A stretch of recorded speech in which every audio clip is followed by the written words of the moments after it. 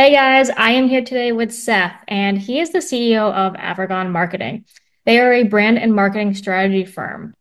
Seth works as a fractional CMO and as a CEO advisor. And I have today Seth here today, so we're going to be chatting a little bit about, about brand imagery and specifically how that creates cohesion and how it creates attraction for your paid ads. So, Seth, I am excited to have this conversation with you. I'm excited to be here. Yeah, as you as you uh, as you hinted at, uh, imagery is very important. Imagery is very important for a brand because it creates that feeling you want around the brand. You know, the first thing people see is not your copy, it's not your headline, it's that image. And that image is going to either have an instantaneous, ooh, I want to learn more, and it's mm-hmm. going to have a little bit of attraction to it to bring them closer. So they they want to read the headline, they want to read the copy that goes with that, or they're not interested at all. But the first thing we as human beings are going to see is an image.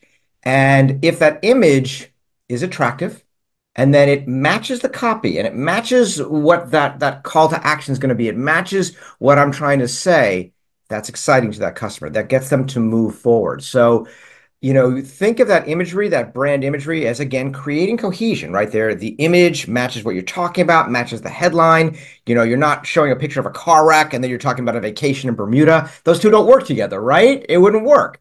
Uh, but if you have pic- pictures of people on a beach and they look happy and they're smiling and it's, you're selling a vacation in Bermuda, that works and it's attractive enough to bring them in. So you've got this this uh, image that pulls them in. It's got a little bit of a hook to it, and then it it dovetails into what you're trying to say, what you're trying to present to that potential customer.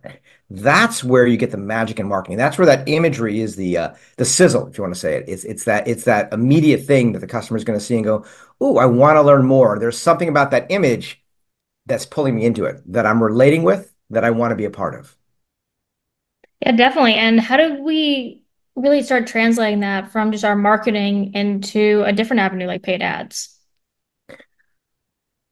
So with your paid ads, you know, we're, we're getting into A/B split testing often. And if those aren't familiar with that, that means that at any given time, I as a marketer, I'm not exactly sure what's going to work, but I'm going to work with someone like you uh, and your agency to say, okay, let's test some different types of imagery and copy and let's see what attracts who. So if we're doing our A/B split testing properly, I'm running five different ad types different mm-hmm. copy, different images that work with that copy, right? Remember, I'm not doing the car wreck with the Bermuda vacation, um, but I might be doing a part of the Bermuda vacation. I might be doing the couple on the beach.